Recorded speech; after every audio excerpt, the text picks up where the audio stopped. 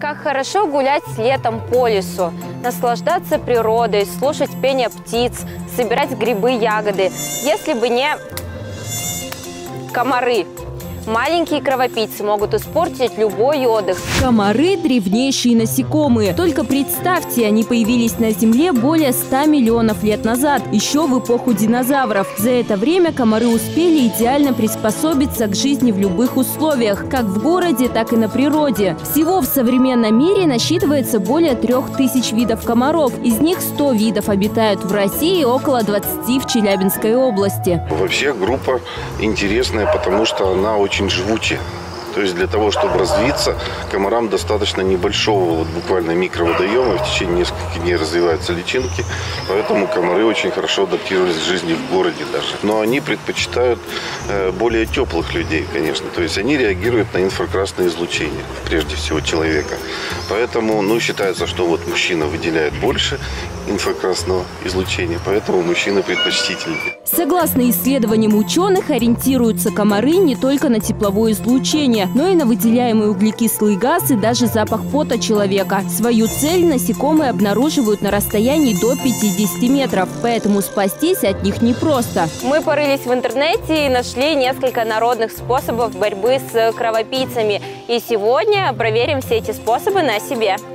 Способ первый – нанести на кожу крем, смешанный с корицей. Комары, как известно, не любят сладкие, фруктовые или хвойные запахи. Поэтому смесь крема с любой из пряностей, корицей, ванилином, гвоздикой или анисом их отпугнет. Способ очень приятный. Во-первых, он быстрый. Во-вторых, это вкусно пахнет. И в-третьих, корица придает коже легкий оттенок загара. Способ второй – использовать репелленты. Мы выбрали первый попавшийся спрей из ближайшего магазина и решили проверить его в действии. Метод неплохой, комаров запах репеллента отпугнул. Правда, у этого способа есть существенные недостатки. Это ужасный запах и сам по себе спрей какой-то жирноватый. Но и часто говорят, что репелленты, у меня же в горле першит от этого запаха, Часто считается, что репелленты их хватает на полтора-два часа, потом они уже не работают. Способ третий, самый жесткий – использовать чеснок. Комары, как настоящие вампиры, не выносят его запах, а потому для защиты от кровососущих чесноком можно натереться, обложиться или вариант для самых отчаянных – съесть. А теперь мне кажется, что меня будут избегать не только комары, но и люди. Гера, ты куда? Гера, вернись! Вернись, я не буду на тебя дышать!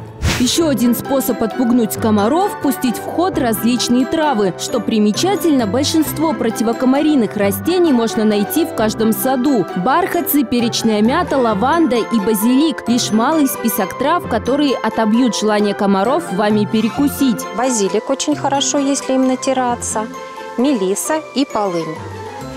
Для того, чтобы это использовать, нужно просто покатать в руке травку, а затем вот этой ладошкой, в которой катали, потереть нужные части тела. Есть в запасе у травницы и более экстремальный способ борьбы с кровопийцами. Одно из самых эффективных древних средств – это муравьиная кислота. Она надежно защищает от всех видов насекомых, даже таежных. Теперь разберемся, что делать, если комар все-таки вас укусил. В сам момент укуса насекомое вводит вещество, в котором содержится антикоагулянт, который не дает крови свертываться и действует как обезболивающее. У человека появляется аллергическая реакция в виде волдыря и зуда. От этих проблем также помогут народные средства. Мне больше всего помогает и нравится, как помогает вьюнок березка. То есть здесь принцип такой же – листик отрываем.